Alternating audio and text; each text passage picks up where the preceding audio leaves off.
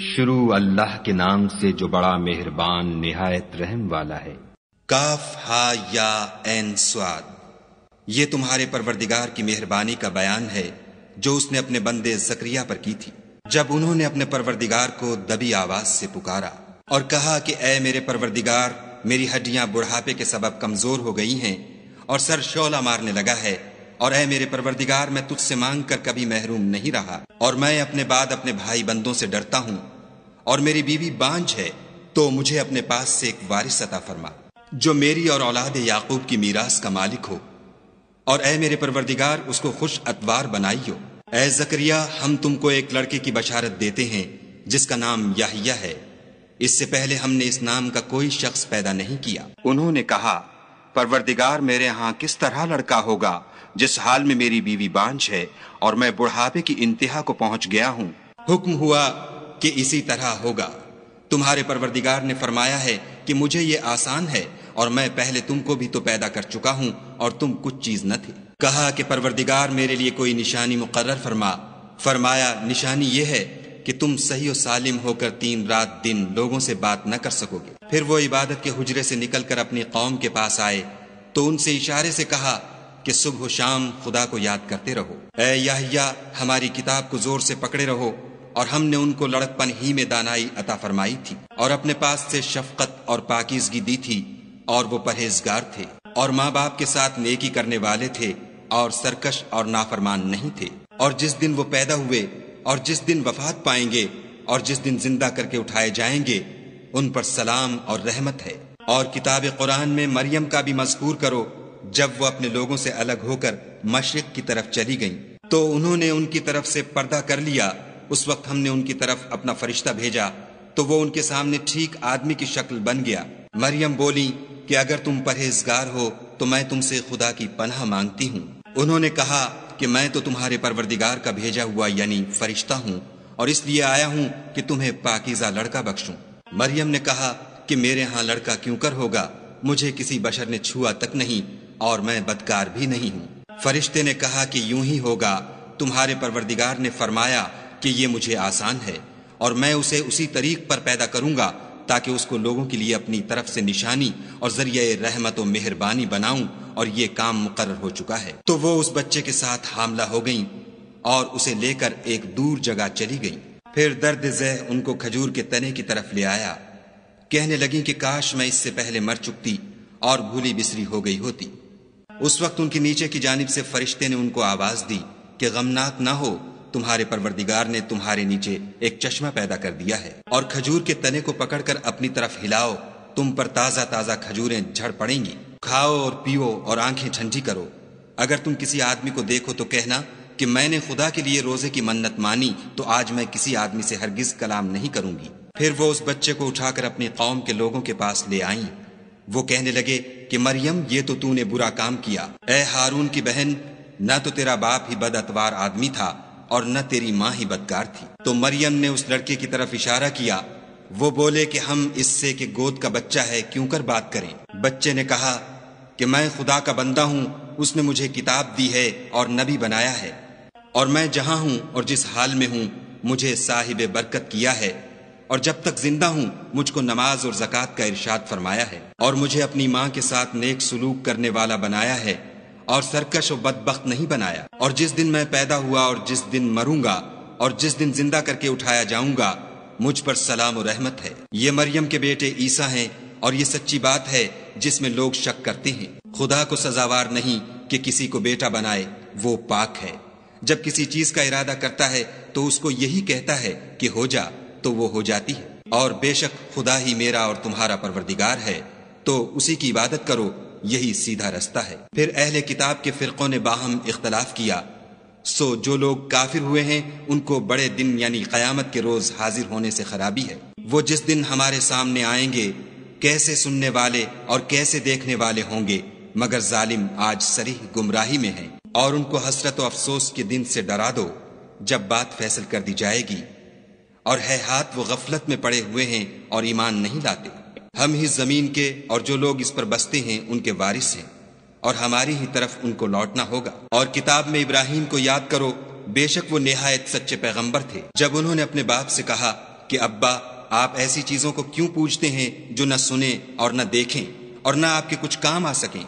अब्बा, मुझे ऐसा इल्म मिला है जो आपको नहीं मिला तो मेरे साथ हो जिए, मैं आपको सीधी राह पर चला दूँगा। अब्बा, शैतान की पूजा न कीजिए। बेशक शैतान खुदा का नाफरमान है। अब्बा, मुझे डर लगता है कि आपको खुदा का अजाब आ पकड़े तो आप शैतान के साथी हो जाएँ। उसने कहा कि इब्राहिम, क्या तू मेरे माबूदों से बरगश्ता है? अगर तू बाज ना आएगा तो मैं तुझे संसार करूँगा, और तू हमेशा के लिए मुझसे दूर हो जा। इब्राहिम ने सलाम कहा, और कहा कि मैं आपके लिए अपने परवरदिगार से बख्शिश मांगूँगा। बेशक वो मुझ पर निहायत मेहरबान है। और मैं आप लोगों से और जिनको आप खुदा के सिवा पुकारा करते हैं, उनसे किनारा करता हूँ और अपने परवरदिगार ही को पुकारूँगा।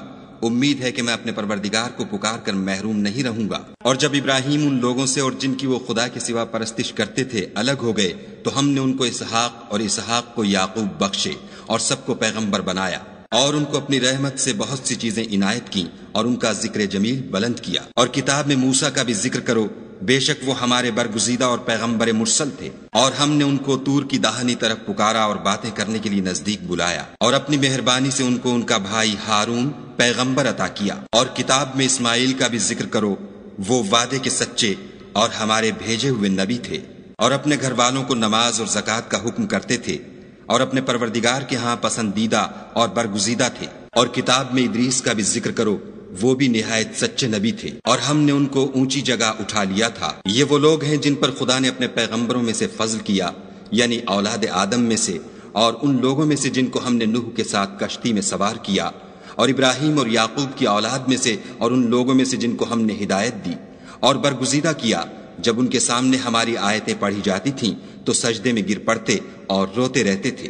फिर उनके बाद चंद नाखलफ उनके जानशीन हुए, जिन्होंने नमाज़ को छोड़ दिया गोया उसे खो दिया और ख्वाहिशात नफसानी के पीछे लग गए, सो अनकरीब उनको गुमराही की सजा मिलेगी। हाँ जिसने तौबा की और ईमान लाया और अमल नेक किए तो ऐसे लोग बहिश्त में दाखिल होंगे और उनका जरा नुकसान न किया जाएगा। यानी बहिश्त जाविदानी में, जिसका खुदा ने अपने बंदों से वादा किया है और जो उनकी आँखों से पोशीदा है, बेशक उसका वादा नेकुकारों के सामने आने वाला है। वो उसमें सलाम के सिवा कोई बेहुदा कलाम न सुनेंगे और उनके लिए सुबह शाम खाना तैयार होगा। यही वो जन्नत है जिसका हम अपने बंदों में से ऐसे शख्स को मालिक बनाएँगे जो परहेजगार होगा। और फरिश्तों ने पैगंबर को जवाब दिया कि हम तुम्हारे परवरदिगार के हुक्म के सिवा उतर नहीं सकते।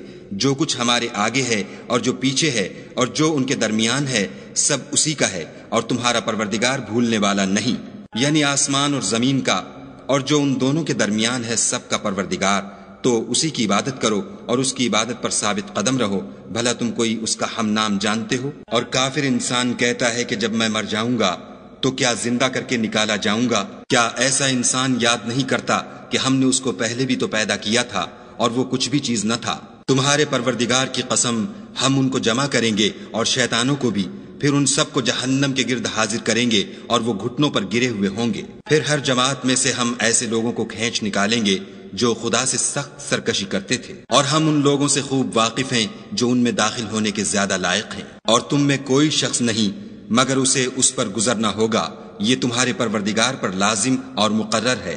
फिर हम परहेजगारों को नजात देंगे और जालिमों को उसमें घुटनों के बल पड़ा हुआ छोड़ देंगे। और जब उन लोगों के सामने हमारी आयतें पढ़ी जाती हैं तो जो काफिर हैं वो मोमिनों से कहते हैं कि दोनों फरीक में से मकान किसके अच्छे और मजलिसें किसकी बेहतर हैं। और हमने उनसे पहले बहुत सी उम्मतें हलाक कर दी। वो लोग उनसे ठाठ और नमूद में कहीं अच्छे थे। कह दो कि जो शख्स गुमराही में पड़ा हुआ है, खुदा उसको आहिस्ता आहिस्ता मोहलत दिए जाता है। यहाँ तक कि जब उस चीज़ को देख लेंगे जिसका उनसे वादा किया जाता है, खा अजाब और खा कयामत तो उस वक्त जान लेंगे कि मकान किसका बुरा है और लश्कर किसका कमज़ोर है। और जो लोग हिदायत याब हैं, खुदा उनको ज़्यादा हिदायत देता है। और नेकियाँ जो बाकी रहने वाली हैं, वो तुम्हारे परवरदिगार के सिले के लिहाज से खूब और अंजाम के एतबार से बेहतर है। भला तुमने उस शख्स को देखा जिसने हमारी आयतों से कुफ्र किया और कहने लगा कि अगर मैं असर नौ ज़िंदा हुआ भी तो यही माल और औलाद मुझे वहाँ मिलेगा।